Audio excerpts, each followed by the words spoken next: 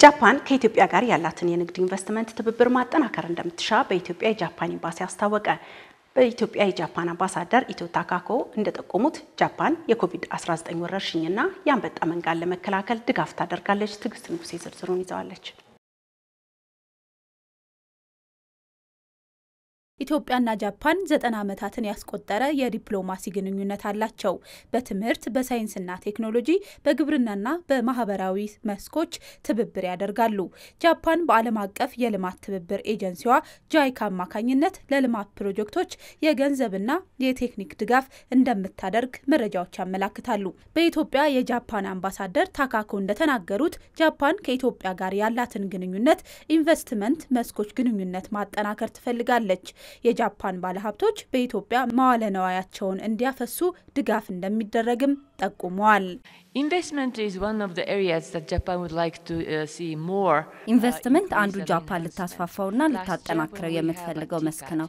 ባለፈው ዓመት በተካሄደው የቶኪዮ ዓለም አቀፍ ጉባኤ ለአፍሪካ ልማት ቴካድ ትኩረት ከተሰጣቸው መስኮች አንዱ ነበር።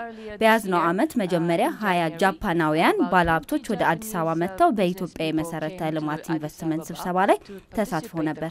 ሆኖም ከኢትዮጵያ መንግስት ጋር በቅርበት በመስራት ለዚች ሀገር ኢንቨስትመንት ለመሳብ የሚደረገው ጥረት ቀጥሏል።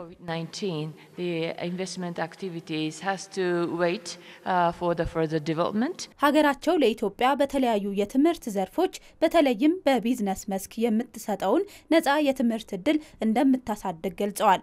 እንደ አምባሳደሯ ገለጻ ጃፓን በኢትዮጵያ የኮቪድ-19 ወረርሽኝንና የአንበጣ መንጋን ለመከላከል የሚደረገውን ጥረት ለማገዝ ሰብአዊ እርዳታ ታደርጋለች።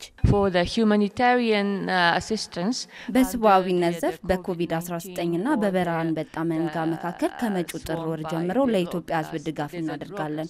የመድኃኒት ድጋፍም ለኢትዮጵያ ሕዝብ እናደርጋለን። በሰብአዊ ድጋፍ አቅርቦት ረገድ የምናከናውነው ይሆናል።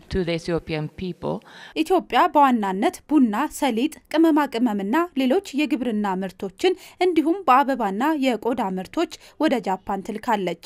ተሽከርካሪዎችን፣ ማሽነሪዎችን፣ የኤሌክትሮኒክስ እቃዎችንና ሌሎች የቴክኖሎጂ ውጤቶችን ደግሞ ከጃፓን ታስገባለች።